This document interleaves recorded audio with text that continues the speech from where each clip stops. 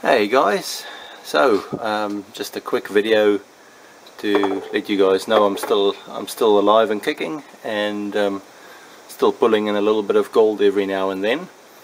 And I had a gold drop as you can see here yesterday. You might be able to see the little bit of gold in this in this corner down here. Um, this was a gold that was dropped from uh, processed hard drive the, the ICs that come from hard drive boards as well as optical drive boards. And um, did some measurements just to just basically doing a, a run of about half a kilo or so of those chips just to see uh, what exactly I get out of them.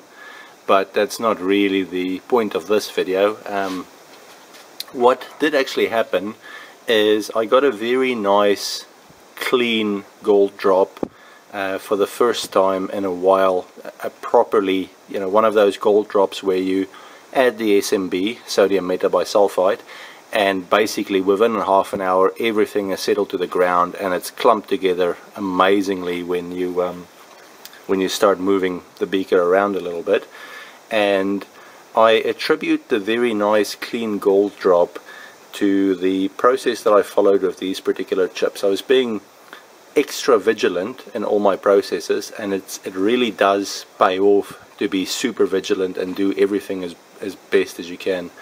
So what I did do here is when I had finished the blue bowl process to basically separate the heavier metals from everything that was not metal, I uh, used hydrochloric acid as usual to get rid of the tin and I let it sit for, for quite a long time on a very low heat so probably about 50 degrees Celsius or so for hours until there was absolutely no more reaction.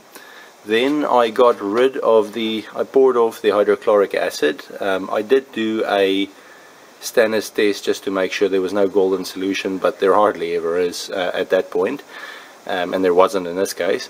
And so the next step is that I um, dried out the the material. So at that at that point there was bond wires and IC legs that, that went through the sieves and things like that. And I basically then at that point um, put the put the beaker on a on a very cool hot plate to dry out all that material. And then I used a gas flame in a in a stainless steel container to to heat all of the material up to a like like a dull red color uh, so that that basically then gets rid of any uh, potential stannous chloride that remains from dissolving tin using the hydrochloric acid and also gets rid of any any hydrochloric acid still in the material.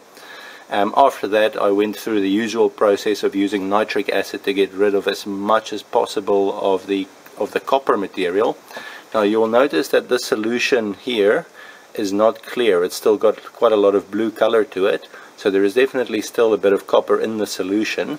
And I think the reason for that is even though I let that process go up to the point where there was hardly any reaction, is because some of the copper wire that you end up dealing with is actually gold plated and it's very difficult to eat away all the all the copper inside um, a plated gold cylinder. It's a very difficult thing to do with, with any acid. And so that's why we still even even after doing the nitric acid cleaning uh, I still have the bit of blue color here uh, in my aqua regia solution. So after that I went through the normal steps and I ended up with this this gold drop here. And it's not it's not super it's not a large amount of gold but the thing is and it doesn't show up that well it actually it moves around as a clump. You might be able to see it there. There you go. It's beautifully clumped together it's about as good as and that's that's an excellent sign of um, of of pure gold. Uh, it drops really quickly and it clumps together really well. So yeah that's basically just thought we'd have a quick chat about about your process and how to get your gold very nice and um, very nice and pure and get very clean drops so that uh, with a drop like this you would not have to do a secondary fine to get into the high 99.9% point somethings uh, purity for your gold. Anyway, uh, yeah, I've got a, a couple more uh, videos planned for this week. So hopefully now that things have settled down a bit, I should be able to uh, put out a few videos here and there of my uh, gold recovery. Okay, nice to uh, be back. Talk to you guys later.